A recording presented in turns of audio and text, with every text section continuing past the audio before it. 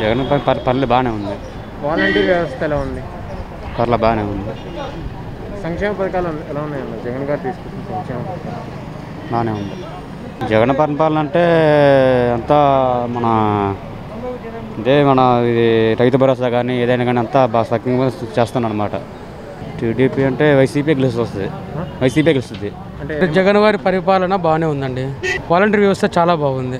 వాలంటీర్ల వల్ల చాలా మందికి చాలా మేలు కూడా జరుగుతూ ఉంది.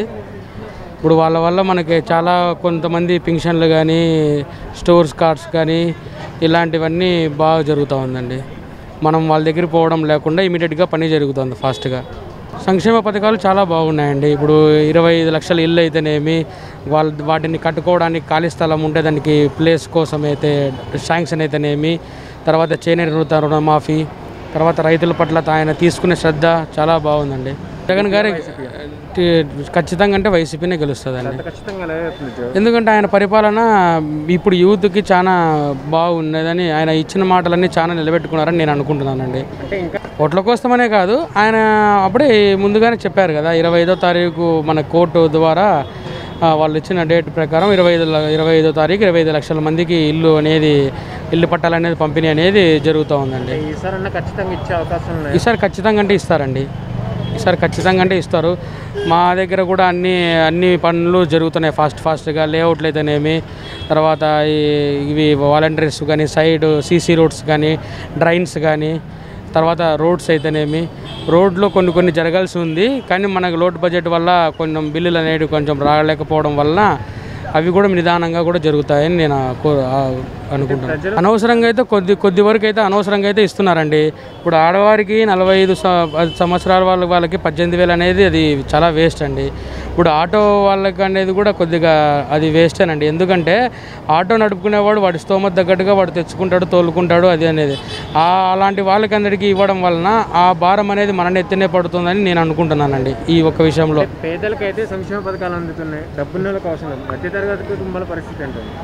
మధ్యతరగతి కుటుంబాల పరిస్థితి ఇప్పుడు అర్హత ఉన్న వాళ్ళకి ప్రతి ఒక్కరికి ఇప్పుడు అంతా ఎలాంటిది ఇప్పుడు మన ఉండే కాన్స్టిట్యూషన్ వల్ల ఎమ్మెల్యే వాళ్ళ చేతిలో అయితే లేదు కదండి.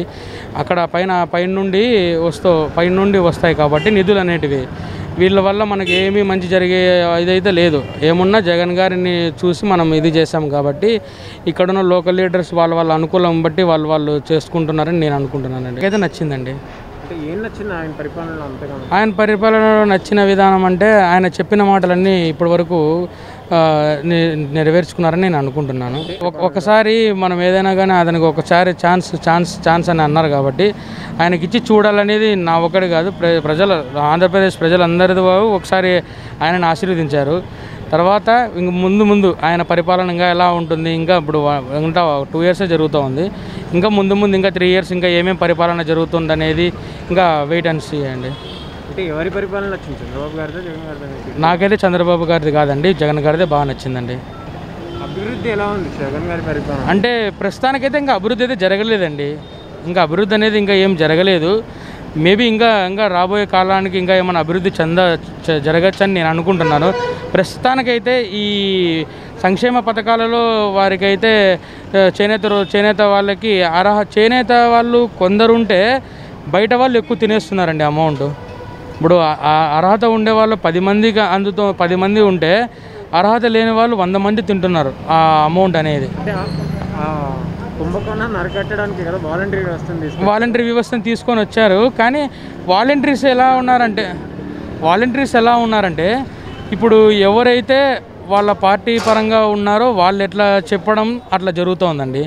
వాలంటీర్స్ అంతా జస్ట్ ఊకే వాలంటీర్స్ అంతవరకే కానీ ఇప్పుడు ఏదైతే అయితే ఉందో అదంతా వాళ్ళ చెప్పినట్లే జరుగుతూ ఉందని నేను అధికారులు చెప్పు చెప్పినట్టు జరుగుతున్నట్టే ఉందని నేను అనుకుంటున్నాను. ఇప్పుడు వరకు ఎస్పెషలీ నాకే తీసుకోండి. ఇప్పటి వరకు నేను త్రీ టైమ్స్ హౌస్ పెట్టాను. హౌస్ కావాలని ఇళ్ళ పట్టాలకి. ఇళ్ళ పట్ట ఇంతవరకు అనేది నాకైతే రాలేదు. కనీసం శాంక్షన్ కూడా కావలేదు. మా మా వైఫ్ పేరు కూడా రాలేదు. కానీ ఇల్లు ఉన్నోళ్ళకే మా వీధిలోనే రెండు రెండు ఇల్లు ఉన్నోళ్ళకు కూడా వాళ్ళకి ఇల్లులు అనేవి వచ్చాయి. స్టోర్ కార్డు కూడా అండి.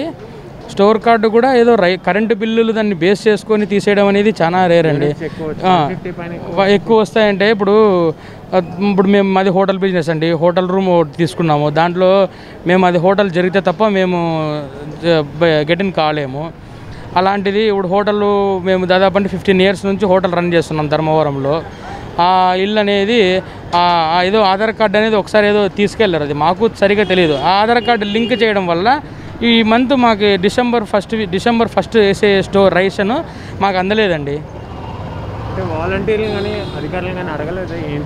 ఏంటి అంటే ఇదే కారణమే చెప్పారండి. మీకు కరెంటు బిల్లు ఎక్కువ వస్తుంది మీరు ఇన్ని యూనిట్లు ఎక్కువ కాలుస్తున్నారు అనేది వాళ్ళ మెయిన్. మనం దాన్ని వాళ్ళు ఏదో మళ్ళీ రేషన్ కొత్తగా పెట్టుకోమన్నారు పెట్టుకున్నాం. అది ఒకటి రావడానికి మరి ఎన్ని ఎన్ని ఎన్ని మంత్స్ పడుతుందో ఏమో. ఒక్కొక్క దానికి లింక్ పెట్టడం కరెక్ట్ కాదండి. లింక్ పెట్టడం కరెక్ట్ కాదండి. లింక్ పెట్టడం వలన చాలా మంది లా నష్టపోతున్నారే తప్ప లాభం అయితే పడడం లేదు. మనం ప్రజలందరినీ లాభ నష్టపోకోకుండా లాభ లాభం చేయాలనే కదా మనం ఎవరన్నా కానీ కోరుకున్నాడు. వాళ్ళు నష్టపోయేది ఎక్కువ ఉంది కానీ లాభం పొందినది అయితే ఏం లేదని నేను అనుకుంటున్నాను. అంటే పేద పేద కుటుంబాలకు అయితే అంత యూనిట్స్ రావు కాబట్టి లింక్ పెట్టామని వాళ్ళు అంటున్నారు. అంతే. పేద కుటుంబాలు పేద కుటుంబాలు అనే అదే కాదండి. ఈవెన్ ఇప్పుడు ఎవరైనా కూడా వారి చేతి కష్టం వాళ్ళు చేసుకొని తినడానికే ఉన్నారు కానీ ఇప్పుడు ఇప్పట్లో పేదవాళ్ళు అంటూ ఎవరు అనేది లేదని నా ఫీలింగ్ అండి. ఇప్పుడు సామాన్యుడు కూడా రోజుకు ఫోర్ హండ్రెడ్ సంపాదించున్న టైం ఇప్పుడు మన ఇది. అలాంటిది పే పేదవాడని మనం ఎలా అంటామండి? చెప్పండి. రైతు భరోసా పెట్టడము రైతులకు చాలా యూజెస్ ఉన్నాయి జగన్ గారి వల్ల. వృద్ధులకు వచ్చేసి పెన్షన్ ఇస్తున్నాడు. మన yearly two fifty two fifty పెంచుతా అంటున్నాడు ఫైవ్ ఇయర్స్ వచ్చే లోపల ఫైవ్ థౌసండ్ దాకా ఇస్తాను అంటున్నాడు డైబెట్ పెంచుతున్నాడు కాబట్టి పాలన బాగుందండి. తిరుపతి ఉప ఎన్నికలు ఉన్నాయి అవును. హండ్రెడ్ పర్సెంట్ వైసీపీ గెలుస్తుందండి టీడీపీకి అవకాశం ఉండదంటారు? లేదండి. హండ్రెడ్ పర్సెంట్ ఉన్నది. మెజార్టీ ఇంకా పెరిగే అవకాశాలు ఉన్నాయా? కంపల్సరీ మెజార్టీ పెరుగుతుందండి. వాలంటీర్ వ్యవస్థ ఎలా ఉందండి? అంటే? వాలంటీర్ వ్యవస్థ ఎలా అనిపిస్తుంది? వాలంటీర్ వ్యవస్థ బాగుందండి. దానివల్ల చాలా యూజెస్ ఉన్నాయి కదా. వృద్ధులు వృద్ధులు అంటూ ఉన్నారు. అందరూ కదా సచివాలయాలు పంచాయతీ ఆఫీసులు పోయి తీసుకున్నారు అప్పుడు అంతా ఇప్పుడు అది అవసరం లేదు కదా. ఇంటి దగ్గరికే పోయి ఇస్తున్నారు. ఏ టైంలో అయినా పోయి పెన్షన్ కావాలంటే ఒకవేళ చాలా దూరం ప్రయాణం ఉన్న అందరం వెళ్ళేసి కానీ వాళ్ళకని ఇస్తున్నారు కదా అమౌంట్ ఏం ఇబ్బంది చాలా బాగుందండి. పాలన పర్లేదు సార్. బాగానే ఉంది.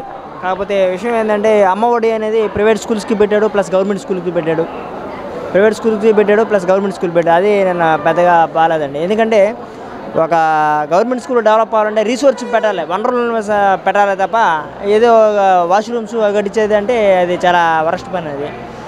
ప్లస్ అదే కాకుండా ఫస్ట్ గవర్నమెంట్ స్కూల్ అని చెప్పారు. గవర్నమెంట్ స్కూల్ అని చెప్పగానే ప్రైవేట్ స్కూల్స్ అన్నీ కూడా గవర్నమెంట్ స్కూల్లో చాలామంది వచ్చారండి. మళ్ళీ అమ్మఒడి అనేది అక్కడికి ఇవ్వడం వల్ల మా అక్కడికి వెళ్ళిపోవడం అలా జరుగుతున్నాయి. నెక్స్ట్ ఇంకపోతే ఇంకా రై- రైతులకి మొన్న నివార్ తుఫాను రావడం చాలా జరిగింది. దానివల్ల ప్రస్తాపన అనేది లేకుండా పోయింది. కాబట్టి ఇదే ఇంకా పాలన అనేది ఇంకా చాలా ఎక్కువగా చేయాలి సార్ డెవలప్మెంట్ చేయాలి. డిఎస్సి వదులుతానంటున్నాడు కానీ ఇంకా దాని గురించి ప్రస్తాపన లేదు. టీచర్స్ బదిలీలు నెక్స్ట్ ర్యాలీలు చేస్తే వాళ్ళ మీద దాడులు. ఆ దాడులు తగ్గిస్తే ఇంకా చాలా బాగుంటుందని మనస్ఫూర్తి సంక్షేమ పథకాలు అందుతున్నాయా సార్. అంద అందట్లేదు సార్. అందరికీ అందట్లేదు అది రికమెండేషన్ వాలంటీర్ వ్యవస్థ ఊరికే ఊరికే ఉందంటే ఉందండి అంతే అండి. సనబీమ్ అన్నారు అది లేదు. చాలా వరకు చాలా వరకు చేస్తున్నారు కానీ చేస్తున్నారని హైప్ ఇస్తున్నారే కానీ చేయట్లేదండి. చాలా చేయట్లేదు. సచివాలయం తిరుపతి ఉప ఎన్నికల్లో ఏ పార్టీ గెలిచే అవకాశం ఉందంటారు మేబీ జనసేన గెలవచ్చు సార్. బీజేపీ జనసేన జనసేన గెలవచ్చు. పరిశీ అంటే సమస్య ఎక్కడ ఉంటే అక్కడ పరిష్కారం అందిస్తున్న పవన్ కళ్యాణ్ గారు మేబీ గెలవచ్చని నా కోరుకుంటున్నాను.